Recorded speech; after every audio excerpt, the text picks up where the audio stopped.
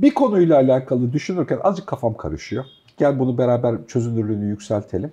E, birazcık daha netleştirelim. Şimdi sosyolojik olarak insanlara baktığında insanların kabaca %10'luk bir bölümü e, alternatiften düşünmeyi seviyor, negatifiyle düşünmeyi. Ve bu negatifiyle düşünme biyolojinin çeşitlilik yasasına dayalı bir şekilde de çok işimize de yarıyor. Ya da çok işimize yaradığı zamanlar var.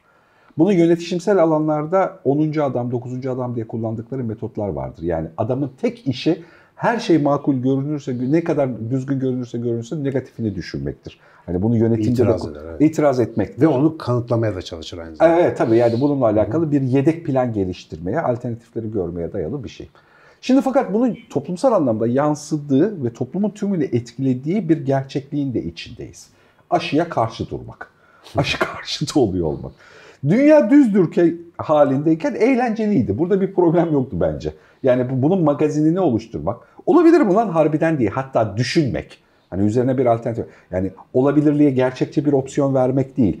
Nasıl birileri bunun olabilirliğini düşünüyor anlamayla alakalı çaba sarf etmek eğlenceliydi. Toplumsal olarak bize bir zararı da yoktu. Birileri dünyanın düz olduğunu düşünüyor olsun. Yani hani bizi belirgince etkilemiyor. E, mesela şeyleri fark etmemize neden oluyor. Postkolonyalizmle beraber anlattığım hikaye var ya yani haritalar meğer bizim gördüğümüz gibi de değilmiş aslında orijinali büyüklükleri vesairesi. Mesela bunu da o kadar da dünya bildiği kadar gerçekte değil. Birazcık sorgulamak iyidir'i de öğretiyordu. Fakat şimdi aşı karşıtlığına geldiğinde kişinin aşıya karşı oluyor olmasından fiziken ben artık etkileniyorum. Ben de, sen de, buradaki herkes de, dışarıdaki insanlar da etkileniyor ve bu biraz çeşitliliğimize de zarar veriyor. Bu artık çok eğlenceli değilmiş gibi görünüyor. Bu alternatif zihinle düşünme halini e, acık kaşıyalım mı? Yani hem bu tarafıyla değerlendirelim hem de bizi etkileyen tarafıyla toplumdaki. Düz dünya o kadar zararsız değil. Bunların altında düz dünya gibi şeyler yatıyor. Hatta benim zaman zaman ilgilendiğim, televizyonlarda falan konuştuğum parapsikolojinin alanına giren konular. Telepatiler, duru görüler, öte alem deneyleri, tekrar doğuşlar, düz dünyada. Şimdi bunların hepsinin şöyle ya da böyle bilimsel kokulu bir tarafları var.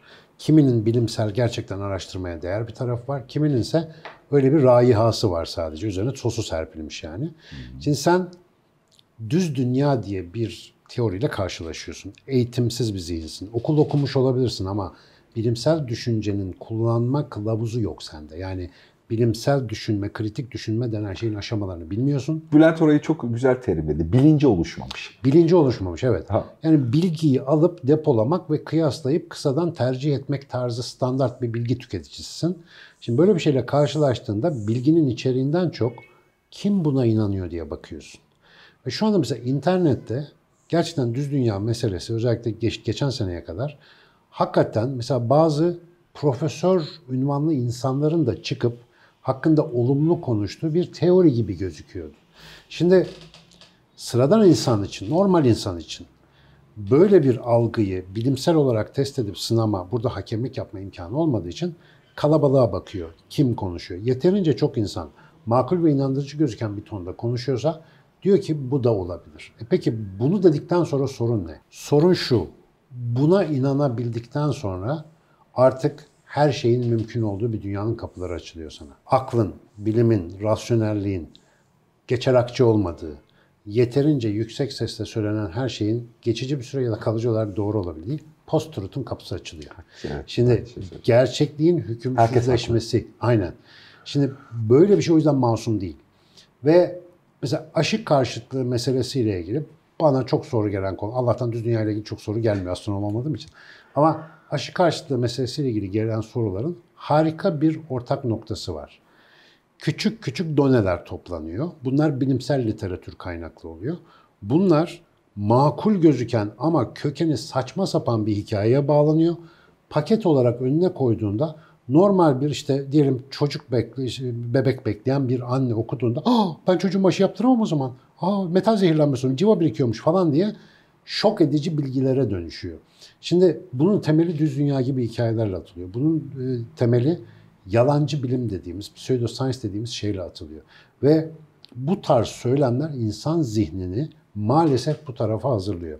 Şimdi ben yıllardır bilim anlatıcılığı yapan biri, biri olarak arada sırada bazı e, arkadaşlar tarafından işte pseudoscience'a kaymakla hep suçlanmışımdır ama tabii yarım dinledikleri ve daha önce duydukları şeylere benzettikleri için benim güncel örneklerle anlatmaya çalıştığım şeyin aslında bilimsel olarak gerçekten anlaşılması gereken şey olduğu ısrarımı kaçırıyorlar. Ben orayı oldukça cazip anlatmaya çalışıyorum ki öbür alternatiflere insanlar düşmesin diye. Tabii beyin ve davranış konusunda. Dolayısıyla şimdi aşı karşıtlığı hikayesinde arka planda hazırlanan zihni anlamak çok önemli. Biz bilim çağında bilgi e, nasıl diyelim ona yağmuru altında, bilgi karmaşası ve kaosu içerisinde yol bulmaya çalışan beyni sınırlı bir çare, bilgi alanı dar ve dili sınırlı varlıklarız. Şimdi bu sınırlı dil, sınırlı bilgi, sınırlı kapasite birleştiğinde bize en kolay paket sunulan çözüm yeterince güzel paketlenmişse bize makul gözüküyor.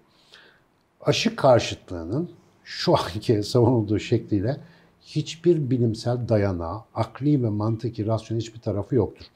Şununla daha kolay anlatabileceğimi düşünüyorum. Yani mantığı aşarız gene ama açık karşıtlığına bir şey söylemek isterim. Yeşil enerji iyidir. İşte sağlıklı, işte efendim paleo diyet güzeldir. Bunların hepsi iyidir. Efendim yeşil enerji yerine nükleer enerji risklidir. En azından yani girmemek gerekir falan. Bunlar iyi. Fakat sen şehirde yaşayan bir insansın. Dünyadaki insanların yarısı gibi şu anda. Şehirde yaşıyorsun. Manyak gibi tüketiyorsun. Senin tüketim düzeyin nükleer bir tüketim düzeyi. Ve bu tüketim düzeyini pervaneyle, güneş paneliyle sağlayamıyorsun canım kardeşim. Sen önce o tüketimini azaltmazsan, insanca bir tüketim düzeyine geçmezsen o zaman yeşil enerjiyi konuşabiliriz. Şimdi teorikte çok güzel duruyor değil mi? Pervaneyi dikiyorsun, sonsuz enerji, rüzgar esiyor, sen lamba yakıyorsun falan. İyi de kardeşim sen evinde disko topları bilmem ne döndürüyorsun. O alet sana yetmeyecek. Biz şu anda normal hayatımızda böyle nükleer yaşıyoruz. Ama enerji yeşil olsun. Böyle bir taraf çiçek böcek olsun. Böyle bir dünya yok. Anlayışın bütüncül olmasının önüne geçen her türlü sloganik söylem bizim zihnimizi kısırlaştırıyor. Aynı şey aşı hikayesinde de var. Affedersin dip dibe işte böyle yaşadığımız bir yerde sen elbette ki özgürlük gibi gözüküyor. Ben çocuğuma aşı yaptırmak istiyorum. O bulaşıcı hastalık senin çocuğundan benimkine geçecek. Daha sonra bu toplumsal bir sağlık problemi olacak. Bunu ne yapacağız o zaman sorusu orası beni ilgilendirmez noktasında kalıyor. İşte burada kişisel özgürlüklerin toplum sağlığını tehdit eden bir şeye dönüştüğü bir mesele olduğunu iyi anlatmamız lazım. Ama bütün bu hikayeler nasıl kabul ediliyor biliyor musun? Ta üniversitedeyken çok meşhur bir duvar yazısı vardı. Zaman duvar yazıları diye kitap çıkmıştı hatırlarsın. Hı hı. Çok severdim ben onu. Tam kitapta yazdığı halini söyleyeceğim. Sansürlemeyeyim YouTube'dayız zaten. Milyonlarca sinek yanılıyor olamaz bok yiyin diye bir şey vardı. Şimdi bu, bu tip hikayelere böyle inanıyoruz. Geliyorsun ana bir sürü adam aynı şeyi konuşuyor. O zaman bize de inanmak düşer. Biz sinek değiliz. Biz akıl, mantık, o muhakeme yeteneği sayesinde bunları eleyebilir olmamız lazım. Böyle bir yeteneğimiz yoksa da güvenilir bir odağa danışmamız gerekiyor. Benim burada kullandığım mesela güzel bir turnusol kağıdı daha var. Biz Türkiye'de bunu çok sıklıkla kullanıyoruz.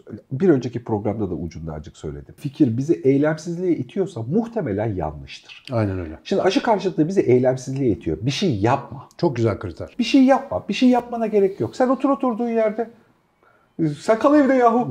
tamam sıkıntı yok yani şeyde. Halbuki mesela şöyle olursa bunu belki tartışmak mümkün aşı yaptırmayacağım ve 6 ay karantinadayım. Aynen öyle. Tamam ya da bir yıl karantinadayım. Başka bir şeyi yapmaya. E, o yerine zaman, bir şey koy. Yerine evet. bir şey koy. Yani o zaman bu bir riskse eğer toplumu da riske atmak istemiyorum. Ben kendi te, e, şeyimi kendi üzerimde tutmak istiyorum. Böyle olunca gerçekliğe kavuşuyor. Böyle olmayınca hala bizi sadece stabil bir konumda tutmaya çalışıyor Aynen. şeyde. Eylemsizlik, Eylemsizlik. durumu. İşte bu inisiyatif almanı gittikçe böyle ağaç budar gibi budayan budayan e, bonsai böyle yapılıyormuş ya sürekli kesiyorlar kesiyorlar. Hayvan sonucu çok kadarcık kalıyor. Yani bir sürü paraya satılıyor ama insan için çok uygun bir sistem değil bu. Bizim bu konuyu e, yani herhangi bir duyduğumuz konuyu bu aşı konusunda dahil olmak üzere sorgulayacak becerimiz yoksa yani bir bilene sormak zorundayız. Bir bilen de yani komşudaki komşu kapıda oturan Ahmet amca değil ya da efendim bilmem ne değil. Otoritesi var bu işin. Bilim kurulu var, işte bakanlığı var, hıfzı sahası var, şu su var, bu su var. Bunlara sorup karar verebileceğim bir şey. Ama mesela benim arkadaşlarım var, yani tanıdığım insanlar çok samimi arkadaşlarım değil ama hekim kendisi, yani doktor, tıp fakültesi diploması var, senelerce uygulama yapmış. Mesela şimdi aşı karşıtı. Şimdi onun arka planında bir endişe var. Onu biliyorum o kişiyi tanıdığım için. Fakat kamuoyuna yansıttığı şeyde sonuç sadece şu. Bak doktor bu da aşı karşıtı. Şimdi bu akıllıca bir yöntem değil. Çünkü onun aşı karşıtı olarak söylediği şey aslında o değil. Aşı ile ilgili iyileştirme istiyor. Aşı gerekli ama bu haliyle diyor bir bazı sorunlar olabilir. Ama sen bunu çıkıp da aşı karşıtlığı tartışmasının içine bodoslama girip buraya dikkatini çekiyorum. Özellikle sahte olarak üretilmiş bir koyunlaştırma operasyonuyla gerçeklerin çarpıştığı bir aranada ikisi arasında tarafsız kalmak ateşle itfaiye arasında tarafsız kalamam diye bir sözü var. Çok sevdiğim bir sözdür bu. Ateşle itfaiye arasında tarafsız kalamazsın. Aklın çalışıyorsa, şimdi böyle bir durumda ortalığı akla çekecek, mantığa çekecek ve insanları dediğin gibi aksiyona çekecek bir şey yapmamız lazım. Do- doğru besleyici ve pozitif aksiyona. Maalesef şu anda bu post-truth dediğimiz gerçekliğin hükümsüzleştiği dönemin ciddiyetini ben de yakın zamana kadar kavramıyormuşum mesela. Şimdi yavaş yavaş bunu kavramaya başladım. Çok acı sonuçlara gebe bir durum. Yani Evet, kendimize inancımızı yitirmemize sebep oluyor ve hakikaten mantığımız çözülüyor, dağılıyor yani. Bu çok berbat bir durum. E, bunun sadece aşı gibi ya da işte ne bileyim dünya düzdür gibi konularda da değil. Normal rutin hayatımızı etkileyen konularda da çok belirgin Evet, olduğunu düşünüyorum. Yani e, mesela e, orta band eğitim hatta orta orta ve üst band eğitim seviyesindeki birçok insanın bu eleştiri tu- tuhaf eleştiri tuzağının içerisinde kaldığını fark ediyorum. Yani artık az önceki söylediğim matematikte bakıyorum çoğunlukla. Yani eleştiri bence çok anlamlı bir şey. Eleştiriyle büyüyoruz yani. Elbette ki. E, Bu, bu böyle gelişebilir durumda ama yapılan eleştirinin kendisi karşı tarafı eylemsizliğe itiyorsa ki çok yüksek oranda böyle itiyor. Yani hani bunlar yanlış, bunlar yanlış. E tamam abi çok güzel. Bunlar yanlış. Ne yapalım bilmiyorum. Bir fikrim de yok yani. E ama abi o zaman ne diyorsun? İşte dur evde. Mesela bak bunun hep insanın fabrika ayarlarını konuşurken senle, niye yazdığını konuşurken bu kitap neden okunur serisinde. Yani orada hep verdiğim örnek ne? Beslenme uzmanı televizyonda kavga ederse evindeki adam baklavaya yumulur abi. Sistem bu. Da bunlardan bir haltı olmayacak. Biri diyor ki ekmek yiyor, öbürü diyor bunu yeme. O zaman diyor ben devam edeyim aynen dedim. Getir havuç sarmayı diyor, bilmem ne diyor. Ve sağlığından oluyor. Aslında televizyonda yapılan tartışma nedir? Normalde farklı görüşlerin bir nevi istişaresi olmalıydı. İnsanların gördüğüne ulan uzmanlar bile anlaşamıyor. Bana mı kaldı bu işte bilmem ne yapmak. Bu ara ama yani azıcık şeytanın avukatlığını da yapayım işin içerisinde. Yani elbette dünyanın düz olması ya da aşı karşıtlığıyla alakalı bir şey kesinlikle bir seçenek olarak görmekle alakalı değil. Fakat şunu da fark etmek gerekiyor. Kaygının zemininde böyle gerçekçi bir durum var. Sistemin karşısında yanlışlaşan adam, sistemin kendisinde oynadığı oyunla ilgili bir muammanın da içinde kalıyor. Hangi ölçekte nerede manipüle ediliyor, hangi seviyede manipüle ediliyor bunu bilmekle de ilgili sorunlar oluşuyor Samimiyet ve güvenilirlik sorunları. sorunları oluşuyor ve bu sorunun e, en kolay yöntemlerinden bir tanesi itiraz etmek. Hani e, bir şeyde hani Bana ne? Oynamıyorum. Ha, evet evet evet yani burada bunu da fark etmek gerekiyor. Yani Kesinlikle. çünkü öteki türlü de çok hızlı bir şekilde bugün seni evet doğru aşı gibi çok gerçekçi bir konuyla manipüle edebilir. Yarın da çiple ilgili edebilir. Şimdi bunun seviyesini bilemiyoruz ki. Yani onun sınırı birbirine çok yakın. Yani Ee, geçenlerde bir habere denk geldim. İnternette miydi, televizyonda mıydı bilmiyorum. Bir kavga çıkıyor gençler arasında. Mahallenin büyükleri geliyor, ara- ayrıştırmaya çalışıyorlar. Onları da dövüyorlar. Çocuklardan birinin babası geliyor, onu da tartaklayıp atıyorlar. Polis bir geliyor, ortalık süt liman alıyor. Şimdi polis güvenilirliğini kaybederse o kavga iç savaşa dönüşebilir. Evet. Bir polis lazım. Şimdi bizim kamu otoritesinde ya da bilimsel otoritelerde güven kaybı olduğu zaman bunun acısını hepimiz çekiyoruz. Evet, evet, evet, evet. Yani o yozlaşma var ya mesela akademi denen kurumun yozlaşması bir geminin altına koca bir delik açılması demek. Biz maalesef bunu ciddiye almıyoruz. Ya da devlet kurumunun ya da mesela şimdi bir sağlık bakanlığı diyelim. Güven kaybetse düşünsene yani kimse inanmasa. Hocam- Nasıl tedbir uygulayacaksın? Ne yapacaksın yani? Türkiye'de %70'e yakın insan kendini öteki olarak addediyor. Aynen öyle. %70'e yakın Tabii, insan çeşitli gruplarda %5, 10, 15 falan bir araya geliyor ve hepsi de kendini bir tür öteki olarak addediyor. Aynen. Bu çok tuhaf bir durum değil mi yani? İşte bir ağır abi lazım.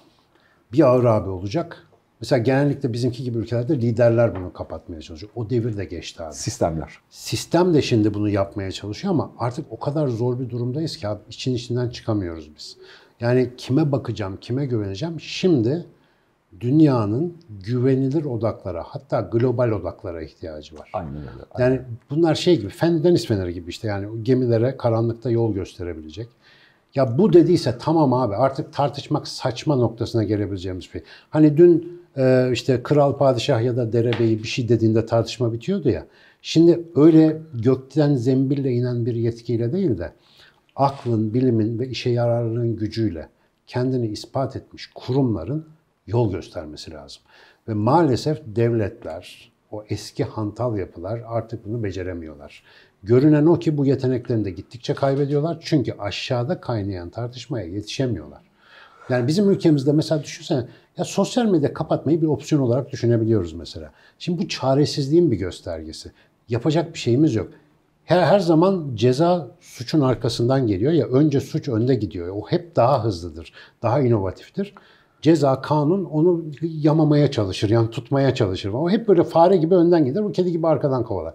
Biz maalesef bu döngünün içerisinde kendi inisiyatifimizde mesela akademi böyle bir ihtiyaca binaen oluşmuştu yüzlerce sene evvel 1500'lerde bilmem ne ilk çıkışı.